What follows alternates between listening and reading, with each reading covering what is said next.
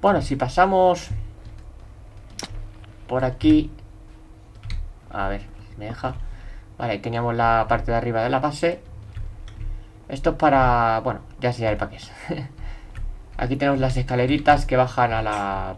El saloncito que tengo aquí abajo. De acuerdo, pero vamos a ver primero esta zona que tengo por aquí. Esta es una pequeña salida que hice por aquí. Está bien decorada como un túnel. Aquí tengo Striders o caballitos del diablo, como les digo yo.